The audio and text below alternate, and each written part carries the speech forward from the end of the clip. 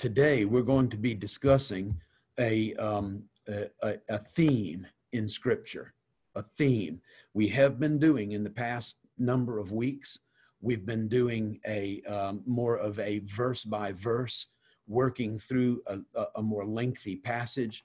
Today, however, we're going to look at a theme that I think is one of the connective themes that sort of joins all of Scripture together. It's a really important um, subject. Uh, we're going to be talking about the theme of sacrifice. Sacrifice. It is at the heart of God. It is a part of His plan for us. And we even see this idea of sacrifice as far back as the Garden of Eden, where God covers Adam and Eve with the skins of animals. We see this in the sacrifice of Noah.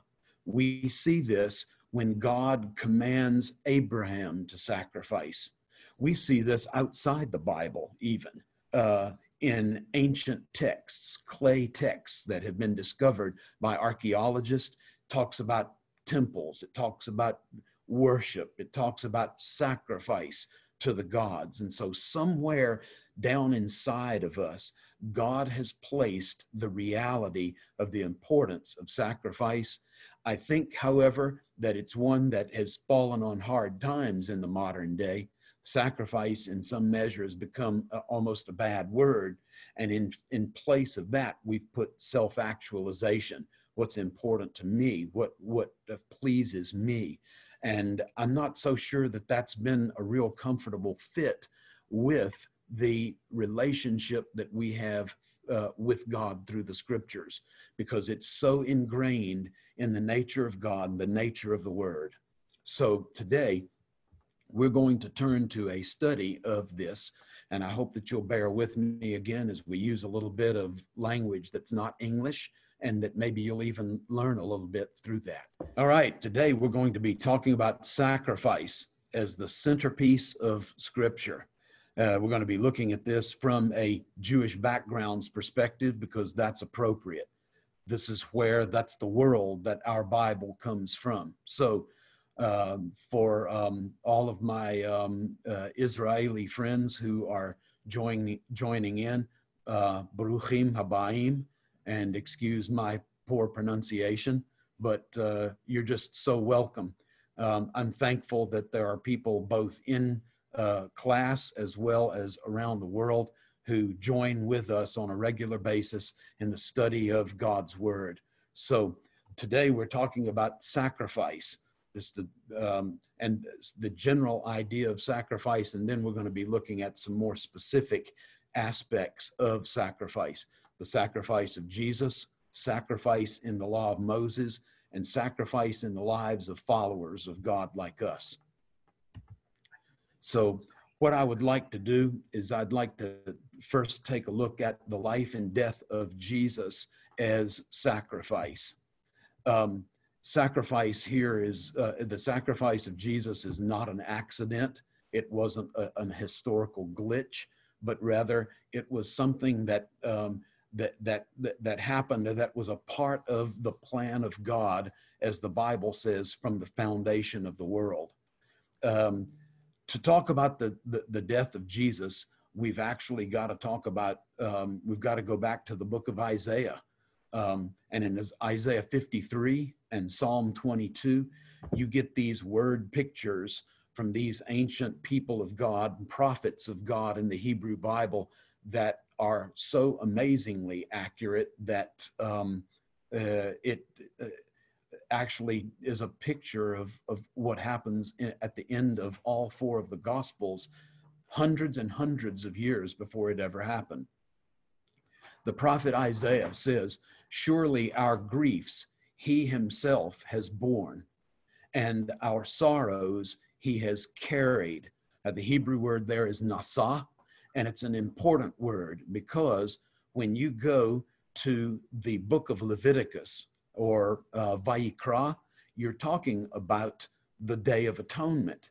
And it's the same word the goat that bears the sins of ancient Israel and that is sent out from the camp, it says, will nasa, bear on itself all of their iniquities, all of their sins, chataim, um, and they will go to a solitary, it, will go to a solitary land and be released and carry the sins of uh, the people of God away upon itself. That word nasa there.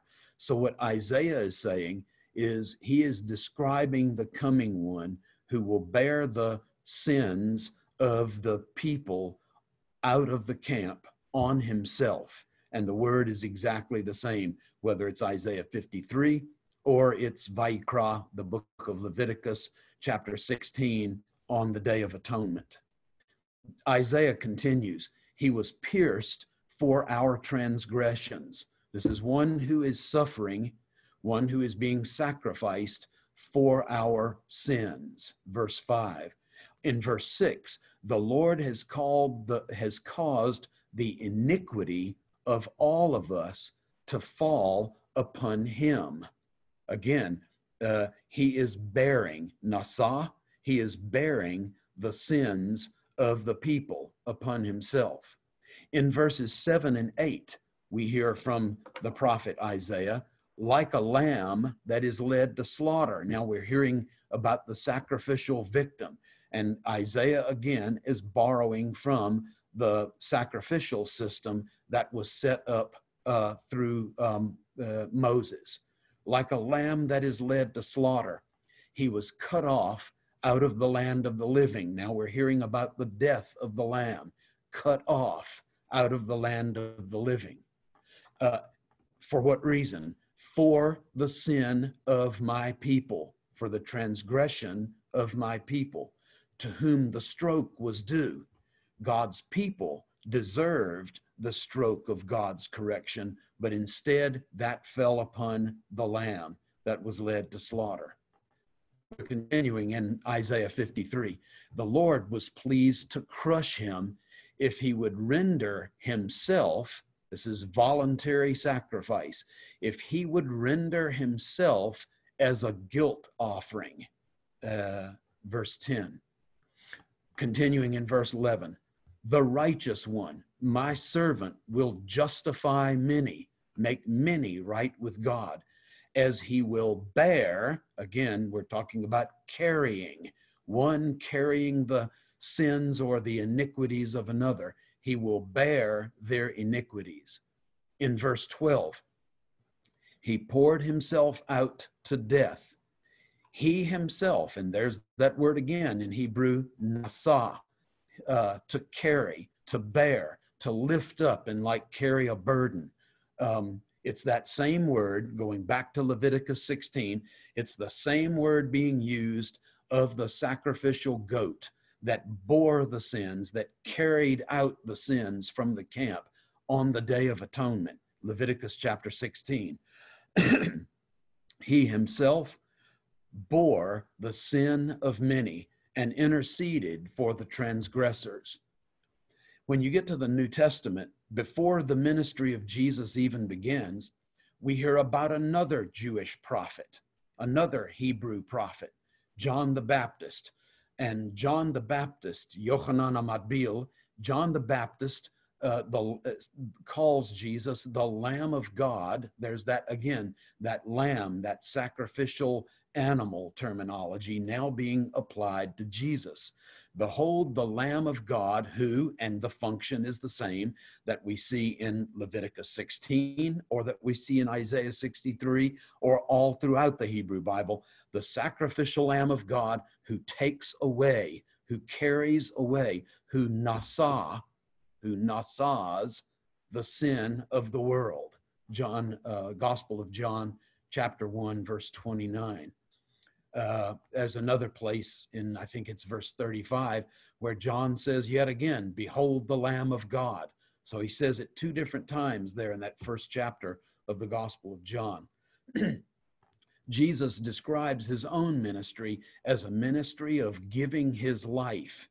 The Son of Man, a self designation, Ben Adam, who did not come to be served, but to serve and to give his life as a ransom for the many. The word the many, that's usually harabim, that's the public, the, the, the public at large, basically the nation. And this word ransom is an interesting word because here uh, Matthew, or rather Jesus, is dipping into the same sacrificial system that Isaiah was uh, referring to. Isaiah picked up on that word nasa. He will carry the sins. The goat will carry the sins of the harabim, the public, the nation, out into the wilderness, into the desert. Here, this idea is also the, from the sacrificial system. If you have a, a donkey, a firstborn of a donkey, just as one example, donkeys can't be sacrificed like other firstborn animals because they are not acceptable animals in the sacrificial system as set up by Moses. So instead of that donkey giving up its life uh, on the altar of sacrifice, uh, an appropriate substitute is taken from the flocks or the herds. And that substitute then gives its life to ransom that uh, animal that cannot be sacrificed. This is also the case with human beings. God will not allow human sacrifice. So the firstborn in uh, Jewish worship, in Jewish um, the Jewish scriptures, uh, cannot be sacrificed. Instead, a substitute, an animal that is a, an appropriate sacrificial animal, is substituted for the human being, and it becomes the pidyon, the the the ransom, the, that thing that is put in place that redeems. Jesus says he came to give his life as a pidyon, as a ransom for the many, harabim. Uh, in the uh, New Testament, as we continue our thematic study of Jesus' death as a pidyon, as a ransom, as a sacrifice uh, in our place, uh, we hear this from First Corinthians uh, chapter 5. This is Paul the Apostle. Uh, he says, Clean out the old leaven, that you might be a new lump, just as you are, in fact, unleavened. For Christ, our Passover, I've put lamb there in brackets because that's exactly the, the, the reference Passover lamb. Christ, our Passover lamb, has also been sacrificed. Again, we're seeing this connectedness, the sacrificial system, take something taking the place of someone or something else and bearing that uh, the death that is to ensue. Christ, our Passover lamb, has also been sacrificed. So he says in verse 8, let us therefore celebrate the feast. One of the reasons why I and my family, grandchildren included, we celebrate Passover. Paul says, celebrate the feast. Why not? It's a July the 4th. It's representing freedom. God loves to bring his people into a place of freedom. And that's exactly what happens in Exodus 12. And that's exactly what Paul is inviting us to celebrate here with Christ, our Passover lamb. In the book of Ephesians, Paul continues. He says, Walk in love just as Christ loved you. And then listen to the language and gave himself up for us, an offering, a sacrifice to God as a um, reach nichoach in Hebrew. It's difficult because of all the ch, but it is what it is. As a fragrant aroma that uh, sometimes in other translations, that sweet smelling savor or a sweet smelling sacrifice. God, God gave Jesus up as a sacrifice. Jesus gave himself up. His, this text is saying, look at it. He gave himself up. This is voluntary. No one took his life away. He laid it down of his own accord, according to Jesus when he's talking to Pilate. Um, an offering, a sacrifice, this fragrant aroma. I'm going to talk to you about this for just a second because it's going to come into clear focus applied to us at the very end of our time, our study today. This fragrant aroma. The first time that this phrase ever shows up is with Noah's sacrifice after the flood. It's that first time that you uh, uh, hear a real clear sacrifice described in the Hebrew Bible. And Noah's sacrifice is described as a reach nichoach, a fragrant aroma, a sweet smelling savor. Everywhere, then, that you find that phrase, those two words, reach and nichoach, showing up together, it's always in a sacrificial context. Hold on to that, put a bookmark there, because it's going to come back into play when we discuss Second Corinthians chapter 2 and our lives lived out, poured out to God in sacrifice.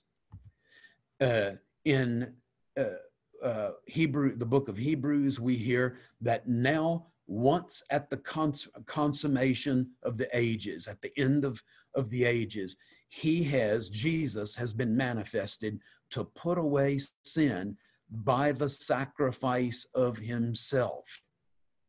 Verse 27 continues.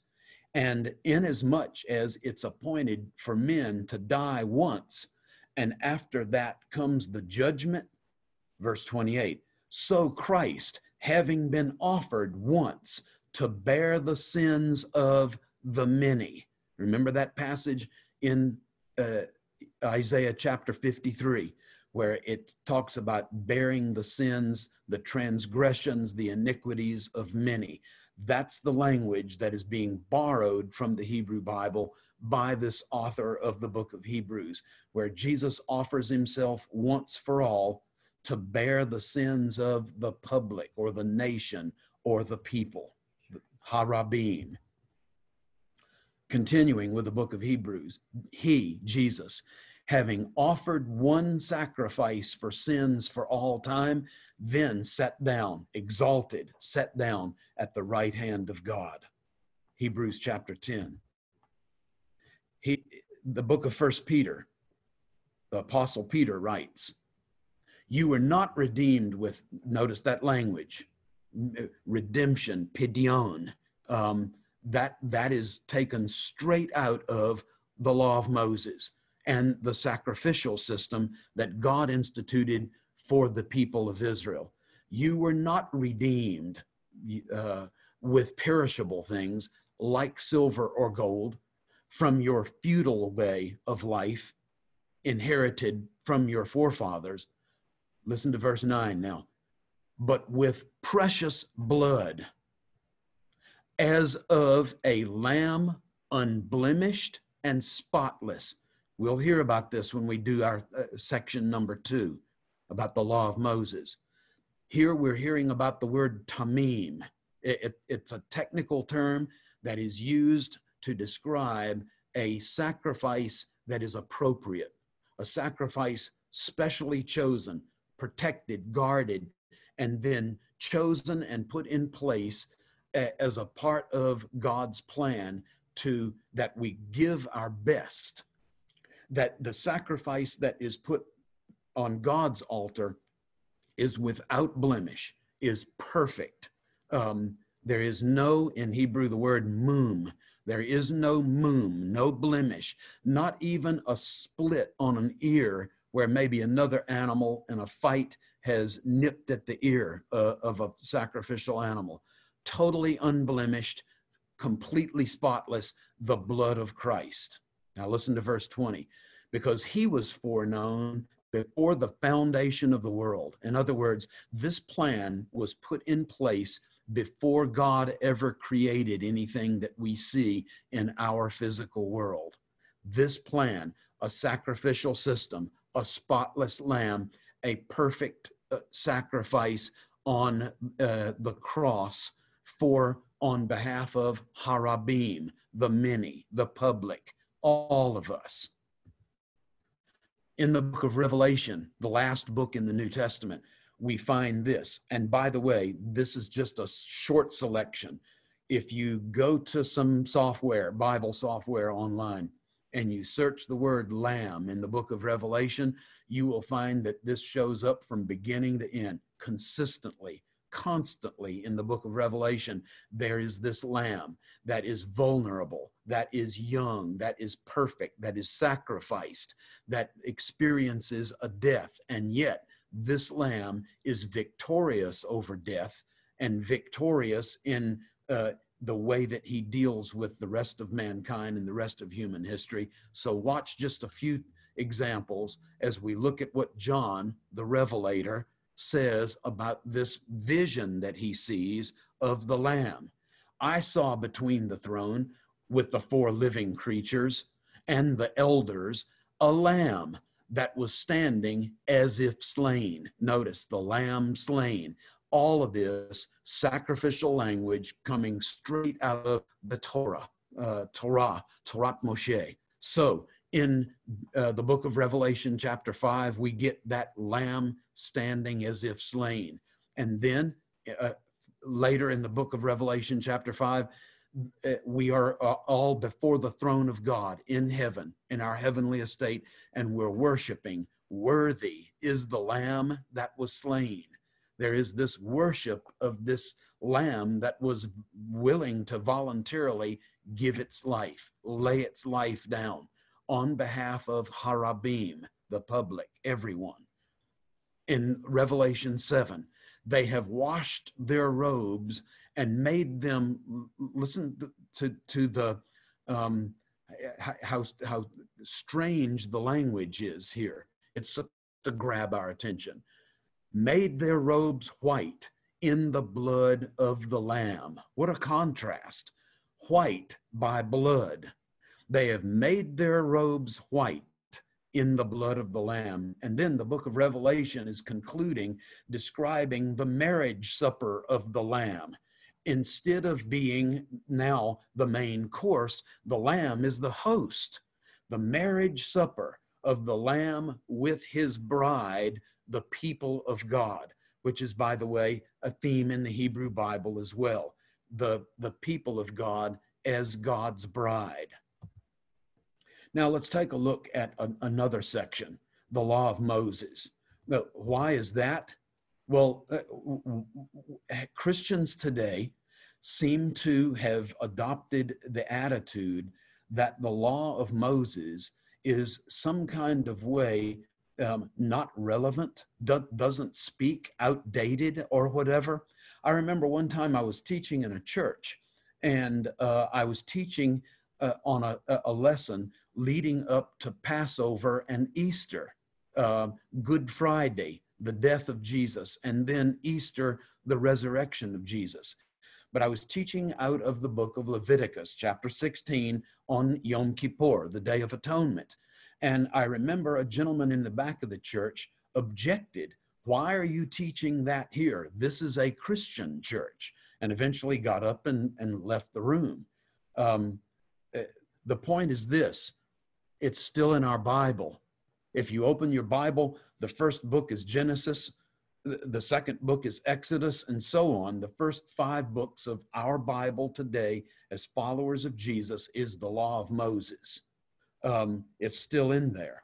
When Jesus said, talked about the law of Moses in Matthew 5, he said that not a jot or a tittle, not a, a not a, a yod or a kotz not the smallest letter of the alphabet and not even the smallest stroke of the pen from the law of Moses is going to pass away until everything is accomplished, and it's not.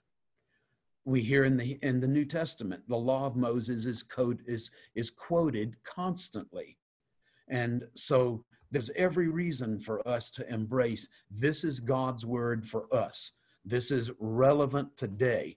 This is still a part of the Bible and still um, important for Christians to be aware of. And so, even though we don't study it as maybe we should, it's still there and still available for us. I often hear this as well from well meaning Christians. Well, since Jesus has fulfilled the law of Moses, the Christian is uh, the law, the, the Torah is no longer relevant to the modern Christian.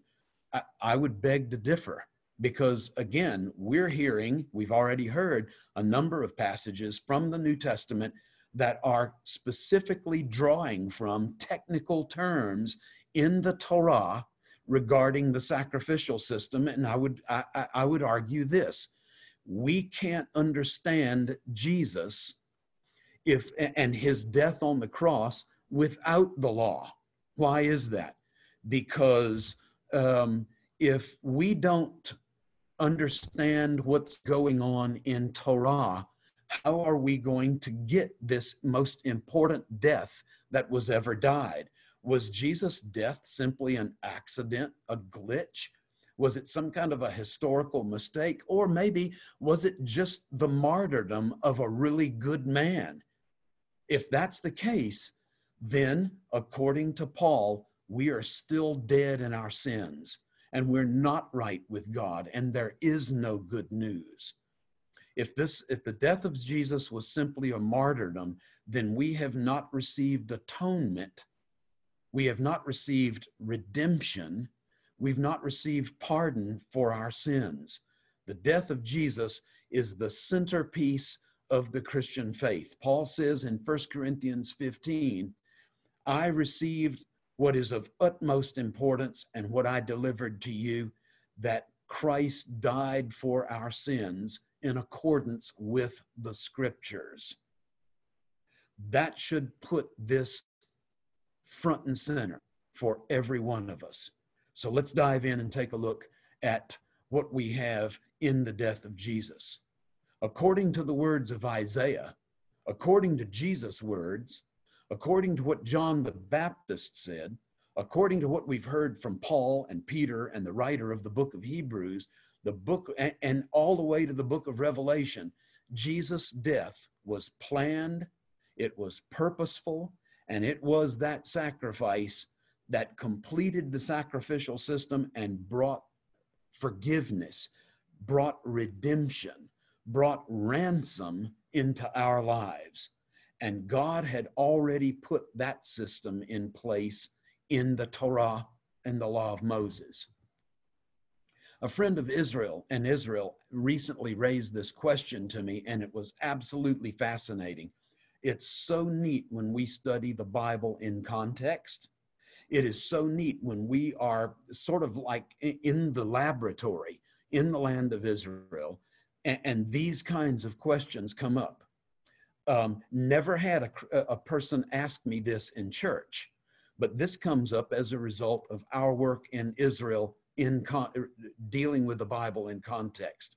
This friend recently asked me if Jesus was the perfect, spotless, unblemished law, uh, uh, Lamb of God, then uh, how could that be when Jesus was jailed, he was slapped, he was um, pierced with a crown of thorns, he was um, scourged to the point that you could, uh, and according to um, the uh, Psalm 22, you could see all of his bones.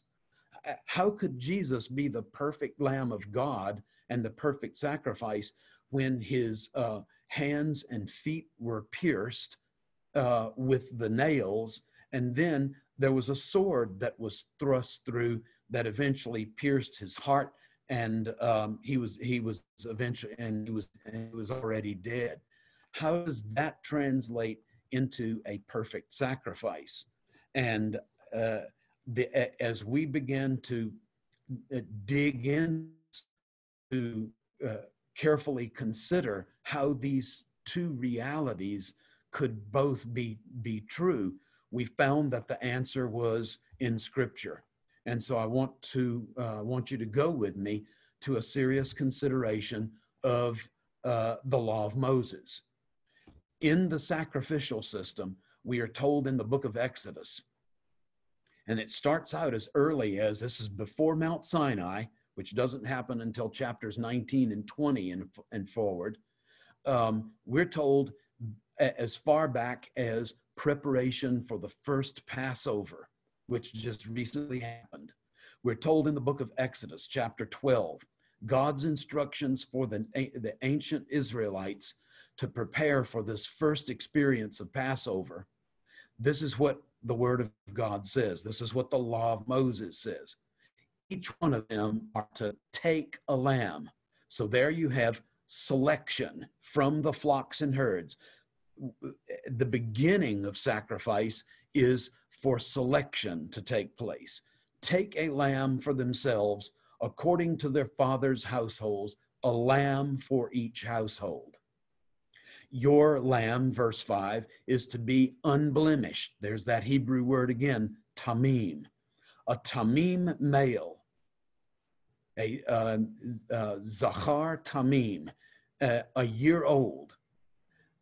The whole assembly, verse 6, of the congregation of Israel is to kill it. So, first selection and then uh, slaughter. Then, verse 7 before there's ever even, even any um, consuming, any uh, roasting of the lamb or consuming of the lamb, put the blood on the two doorposts and on the lintel of the houses. There's something done applying the blood of the lamb.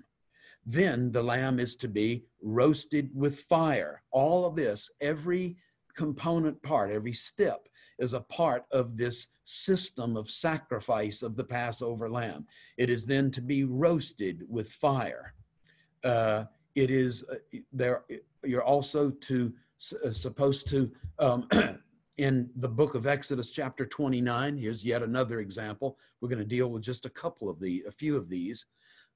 Uh, in preparing to consecrate Aaron and his sons as priests of God in the wilderness, they're supposed to bring a bull before the tent. You don't get a sacrifice unless you go out and you select an animal and then you bring that animal to an appropriate place of sacrifice. That animal's already been chosen, its fate is already sealed. But these are pieces, component parts of the sacrificial system. Bring the bull before the Ohel Moed, before the tent of meeting. And Aaron and his sons will lay their hands on. Now, this is an act of consecrating uh, uh, making holy, sacred, separating apart from all the other parts of the flocks and herds this particular sacrificial animal. Lay their hands on the head of the bull. the flesh of the bull, verse 14, the flesh of the bull and its hide and its refuse you shall burn with fire outside the camp. So we're hearing about there's the need to skin the animal. After the the, the bull is uh, is slaughtered and its blood is drained there is the hide there is the skinning of the bull. And then there is the quartering of the bull. You cut it up into its parts which we'll hear about later. In verse 12 you shall take some of the blood of the bull and put it on the horns of the altar. That's consecrating the altar with your finger, and you shall pour out all the blood at the base of the altar. They are again applying the blood in the same way that we saw in Exodus chapter 12. In verse 17, it's you shall up the ram into its pieces.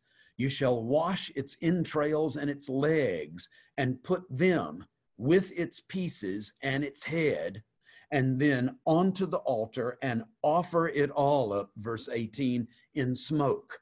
Uh, we hear about an, an, another sacrificial animal. Uh, this is still in the consecration of Aaron and his sons as priests. Offer up in smoke the whole ram on the altar. This is assumed that this is the case with the bull as well. Um, and now with the ram, altar offer it on the altar. It is, listen to this language, it's a burnt offering to Yahweh. It is a soothing aroma. That's that reach nichoach that we heard about all the way back as far as Genesis chapter 9 with Noah. And we hear about it on a regular basis about an appropriately offered sacrifice. It's a soothing aroma. It's a sweet smelling savor, savor. It's a fragrant aroma to the Lord, an offering by fire keep that uh, bookmark there because it will be important to understand future passages that we see even in the New Testament. Now we hear, I, am going to give you one more uh, example from the Law of Moses. Notice how detailed, notice how specific, and notice that there is a sequence. We saw it in uh, Exodus 12 with the Passover. We saw it in, in Exodus 29 with the sacrifices of the bull and the ram regarding the consecration of Aaron and his sons as the, the high priests of Israel. Now we're going to hear it, hear about it in uh, with respect to the whole nation. These the sacrifice that we're going to hear about in Leviticus uh, it has to do with the entire people. Everybody's involved in this. Notice the beginning, verse 2 speak to the sons of Israel. So it's not just Noah, it, it's not just um, the people who are living, leaving Egypt uh, in chapter 12 of Exodus. This is for all people, all of God's people. Speak to the sons of Israel and say to them, When any man of you brings an offering, there again, there's that language of you separate out from the rest of the flock and then you bring that animal to a special place where sacrifice is supposed to take place.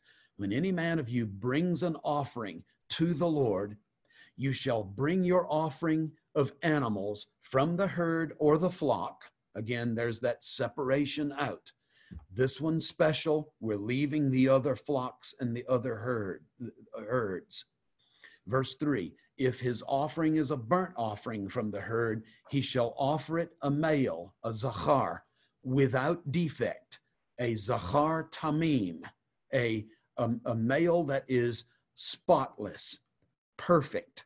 Uh, the English uses the phrase without defect, a zachar tamim, and he shall lay his hand on the head of the burnt offering. Again, an act of consecration uh, separating this animal out as special and designated for sacrifice.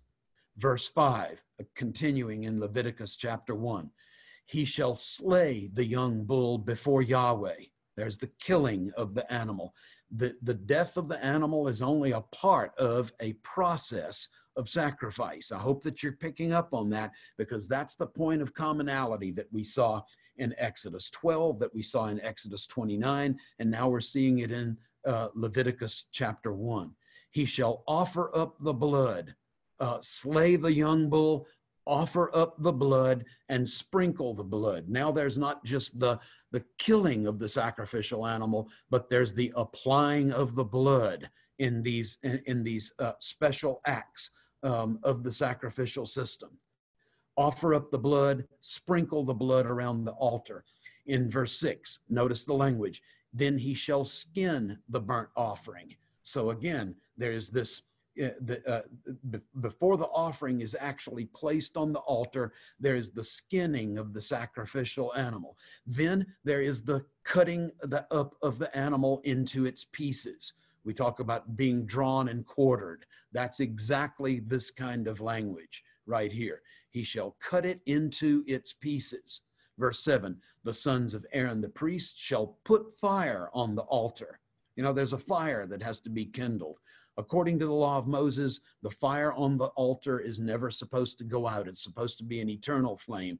But when it comes time for the offering of an animal, there is the placing of the uh, of uh, of fresh wood on the altar and the stirring up of the coals and the kindling of a fire that will be appropriate for the sacrifice of this animal. Think Genesis chapter 22 and Isaac's question to Abraham Father, here is the fire. Here is the wood, but where is the sacrifice? These are all parts of this sacrifice of this specific animal. It's not a momentary event, it's a process remember that we're answering this question of why would how could jesus be a, the perfect lamb but then he experiences all of this damage to his body? He shall skin the burnt offering he shall cut it into its pieces and the sons of aaron shall put fire on the altar and shall arrange the wood on the fire. Think again genesis 22 continuing in Leviticus chapter 1.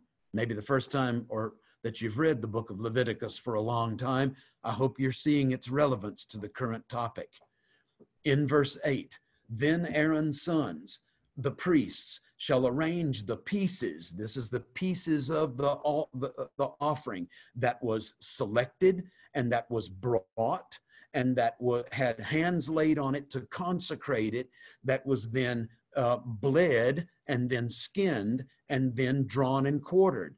He shall arrange the pieces, the head, and the suet. That's a special technical term, both in English and in um, Hebrew, of these uh, uh, uh of these um, uh, the pieces of fat that are connected to the internal organs of an animal. It's a technical term from the law of Moses, the suet, over the wood which is on the fire that is on the altar. Verse 9, its entrails, however, and its legs he shall wash with water. Notice again, the all of these independent steps of a process of sacrifice. It's and wash its legs with water, and the priest will offer it up in smoke on the altar for a burnt offering, an offering by fire, and then again you get that language. It is a reach nichoach. It is a pleasing sacrifice to the Lord. Now I want to look at us. Look at the people of God. Is there application to our lives as well? Um, of course, Jesus has gone through a, a, process of sacrifice. He was that perfect Lamb of God that was that that was consecrated.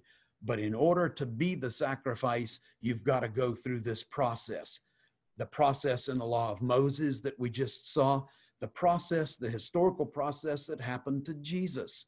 Absolutely. You get the selection, you get the consecration, you get in Jesus' life the arrest you get the Jesus is slapped, his beard is pulled out, he is scourged, he is taken to the, this final place of sacrifice, and then he is pinned to the cross and he is pierced for our transgressions, exactly like uh, the prophet Isaiah spoke. Throughout the New Testament, we get this kind of language applied to Jesus from Isaiah, from uh, the law of Moses in the sacrificial system, and now it's applied to us.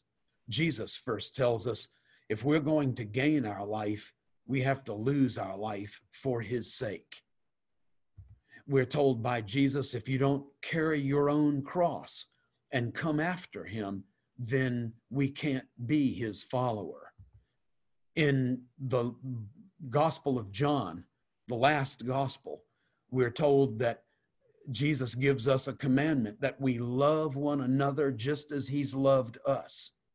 In verse 13, we're told, Greater love has no man than this, than that he lay down his life for his friends. And he's not talking about himself there. This is passage has been mis- misinterpreted so often that we've sort of taken it on. Notice the connection between verse 12 and verse 13. Here he's talking about us. He's talking about you and he's talking about me. Greater love has no person than this, that he lay down his life for his friends. And he's talking about our sacrifice on behalf of our friends. John 15. Paul talked about this in Romans 15. I've written this very boldly to you. He's referring to himself because of the grace given me, God's eh, supernatural empowerment of me, I've become a minister of Christ Jesus to the, to the Gentiles, ministering as a priest the gospel of God, that my offering of the Gentiles, notice the language there, sacrificial language, might become acceptable, sanctified by the Spirit. Paul talks about his own death I'm being poured out as a drink offering. Those are the libations that the law of Moses describes upon the sacrifice and service of your faith. And there he's talking about us. Our service to God and our relationship with God is as a sacrifice. So Paul's now transitioning. Both he and we are sacrifices. Paul says in the book of Philippians, I've if but I've received everything in full, I, and I have plenty. I'm ample. I'm amply supplied, having received from our friend Epaphroditus what you sent. This is an offering, a monetary, a money offering. What you sent is a fragrant aroma. Ah, there it is. We've heard it from the law of Moses, from Genesis 9 all the way through uh, the sacrificial system. What you send is a uh, is a reach nichoach. It's a fragrant aroma, an acceptable sacrifice, well pleasing to God. Have you ever thought of your monetary offerings as being a fragrant aroma, a sweet smelling savor offered up to God that is a pleasing sacrifice? Paul says in Colossians, I rejoice in my suffering. His sacrifice, his life served under the in given in the service of God. My suffering for your sake, and in my flesh I do my share on behalf of his body, his church. And listen to this language filling up what's lacking in Christ's afflictions. I don't even know what to do with that exactly. I didn't think that there was anything lacking. Maybe Paul is a little tongue in cheek. Maybe it's a, a, a, little bit of rhetoric that he's using here, but he's saying he's adding some kind of way to the sacrifice of Jesus. At, at least we can say of this that when we live the cross life, the sacrificial life, we're participating with and, and joining in with that kind of life lived that Jesus lived. Paul says in Second Timothy, I'm being poured out as a drink offering. There it is again, sacrificial language Paul is applying to himself. The time of my departure, and there he's talking about his own death as being a, that, that final ultimate sacrifice where he gives himself wholly to God. Let's turn now to a, a consideration of Romans chapter 12, verses 1 and 2. Here, Paul's writing to the Romans and uh, the, the church of, uh, of Jesus in Rome, and he s- says this to them as an encouragement, as a challenge. I, I urge you, therefore, brethren, by the mercies of God, to present your bodies, present is like presenting an offering. So that's sacrificial language. Present your bodies as a living and holy sacrifice. There, obviously, we're in the world of sacrifice um, and acceptable to God. And you've seen that word already acceptable or tamim or unblemished, that which is um, uh, a, a sweet smelling savor to God, a fragrant aroma. So, all of this language that Paul is using present your bodies, holy sacrifice, and then that word acceptable. We are within the world of uh, the language of sacrifice. Uh, here, Paul is encouraging us to see a life lived in service to God, um, in devotion to, submission to the Master, as a uh, life of sacrifice, a living sacrifice. Eh, one might ask themselves at that point, though, uh, yes, but it seems like that I take one step forward and two steps backward in my walk with God, in my relationship with Him, in my being changed into His likeness. And this is exactly where we're headed in this study. We noticed all the way back with Jesus that Jesus' sacrifice was a process, it was incremental. Uh, there was arrest, and then there was uh, trials, and there was imprisonment, and there was uh, physical abuse like uh, slapping and the pulling out of the beard. We saw that there was also this, the stage of of scourging, Roman scourging. And then there was the actual crucifixion itself, where the hands and the feet were pierced, and then finally the side was even pierced. Uh, think back to the question that my Israeli friend posed that I introduced at the beginning of this study. How can Jesus have been a perfect sacrifice when he endured all of these uh, physical blemishes leading up to his final death. And this is the very point, and this is the point that I want you to consider when dealing with Romans chapter 12 is that sacrifice is not a moment in time.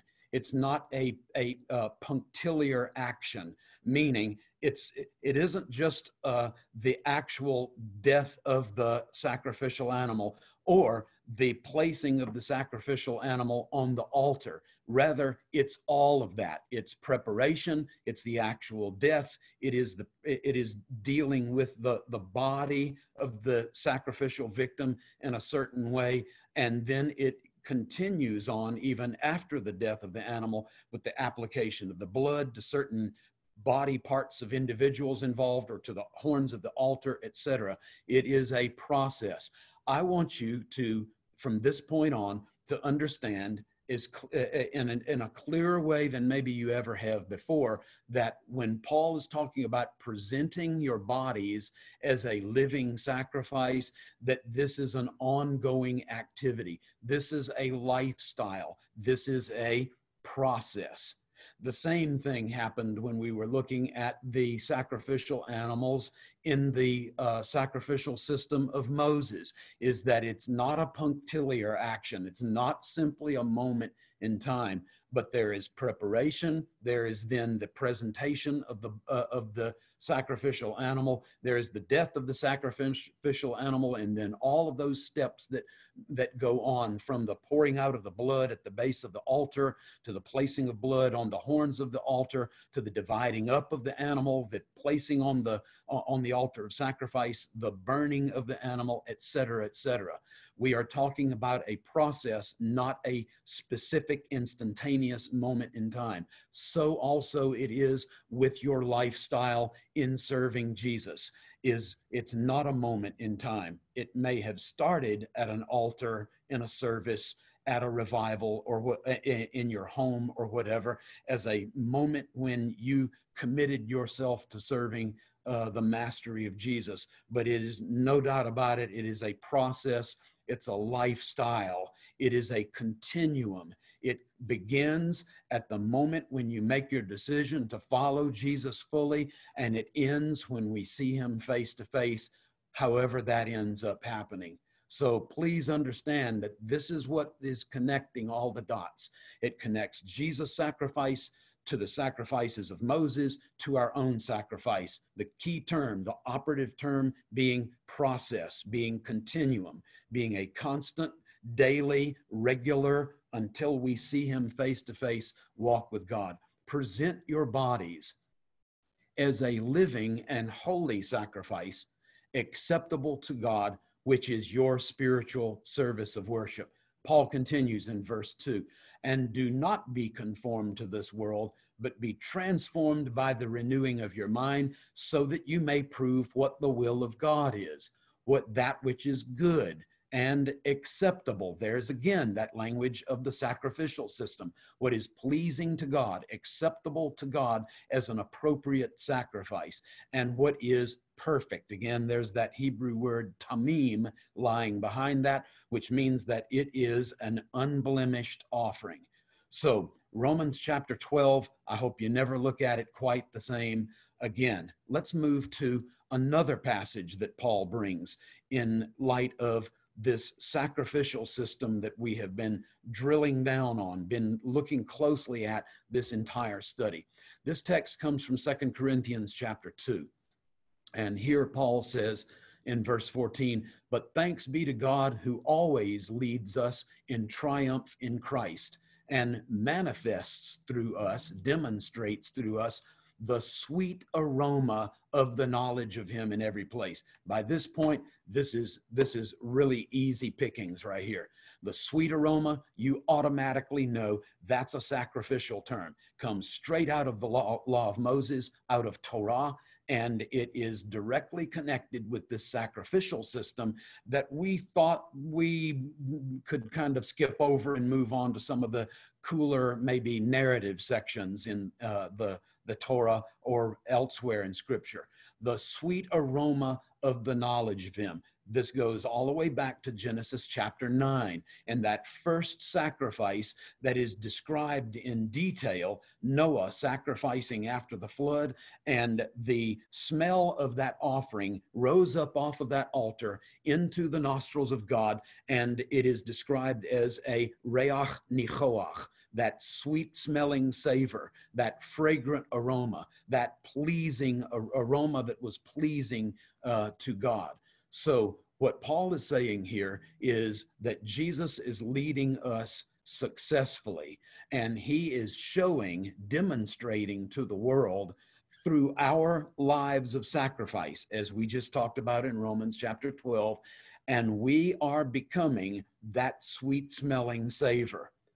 Paul continues in verse 15 For we are a fragrance, again, technical term, straight out of the sacrificial system. We are a fragrance of Christ uh, to God uh, among those who are being saved and among those who are perishing. So the world's divided up into to two different uh, groups of people those who are responsive to God and those who are unresponsive to God our lives being that sweet smelling savor, that sacrificial lifestyle, is announcing to these people that reconciliation with God is possible, that a real relationship with God, a renewed relationship is possible because forgiveness is possible. That fragrant aroma spilling out off of that altar throughout the courts of the temple and then out into Jerusalem proper is announcing to every person within its reach that relationship with God is possible. God can truly forgive your sins and reconcile you to Him through sacrifice, through that sacrifice. For we are a fragrance of Christ to God among those who are being saved and among those who are perishing. And then in verse 16, Paul talks about those same two groups again. To one, it is an aroma, sacrificial language, from death to death. But that's those who resist, those who are mutinous and rebellious, who refuse to respond to God um, in covenant faithfulness. And, and then the other group, and to other to the other group, an aroma from life to life. They're moving into that relationship with God, that reconciliation with God, that life of forgiveness, of being washed clean by the blood of the sacrifice. And this is our heritage. This is our lot. This is what we are called to as the people of God to live a reconciled life, to live a life of awareness of what God has done with us in forgiving us and returning us in relationship to Him. What a joyous uh, calling. What an amazing life and lifestyle we then are called to and have the opportunity to participate in that we are actually announcing to the world relationship and reconciliation and forgiveness uh, with uh, uh to God. Some people in uh, the Christian world from time to time, you'll hear this, I will hear this. Some people will make this comment, but I just feel so used. Let me put a different spin on that maybe a little bit a little bit different take in light of what we have been studying with respect to jesus life of sacrifice of the sacrificial system and the law of of, of moses and how that uh, sacrificial um, those principles sacrificial principles and even technical terms are um, uh, appear in the life of jesus but also appear in the lives of those who choose to follow him that we are called exactly to that kind of lifestyle. We should be on a regular basis feeling just so used. Um, what a glorious calling it is for our lives to not be self centered, to not be self absorbed, but to be poured out in service to God and to other people as priests of God, representing Him to the world that we have been called to reach on His behalf.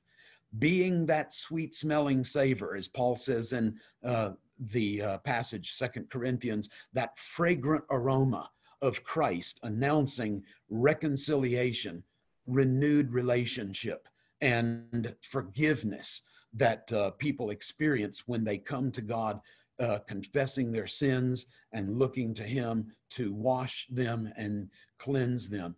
It's appropriate that we pour ourselves out in service, both to God and to others. And what a what a glorious feeling it is to just feel so used.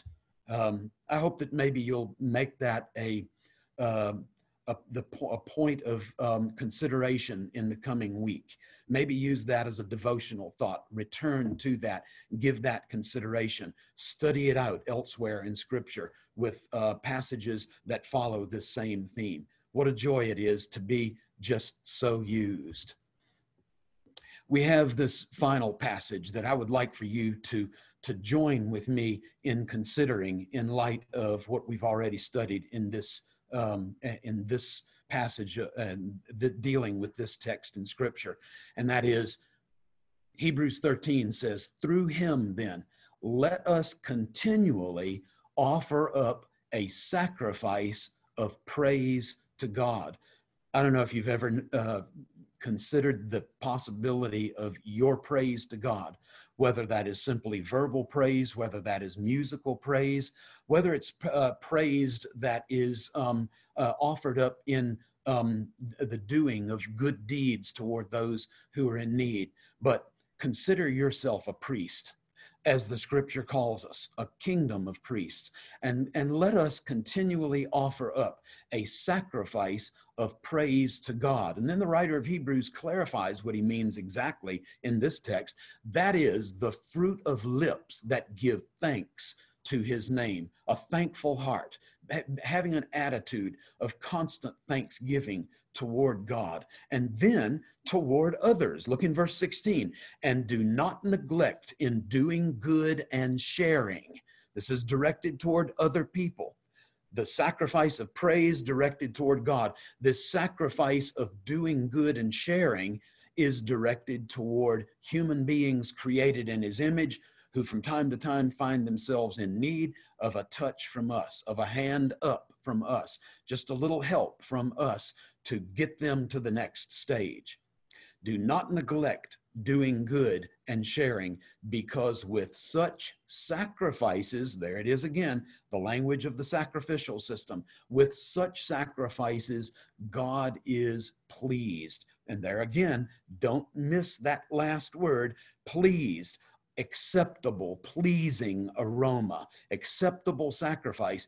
All of this, again, is sacrificial language torn straight from the pages of the law of Moses, applied to the life of Jesus. And now that same, those same principles are being applied to our lives as his followers as well. Well, I want to thank you guys for joining yet again in gathering around this rich banquet table that is replete with the goodness of God coming out of his word.